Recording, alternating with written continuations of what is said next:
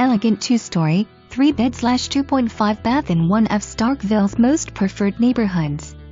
Upgraded amenities, wood flooring and a finished bonus room that can be used as a fourth bedroom. Centrally located just off Yellow Jacket dining room with easy access to schools, shopping, restaurants and all that Starkville has to offer.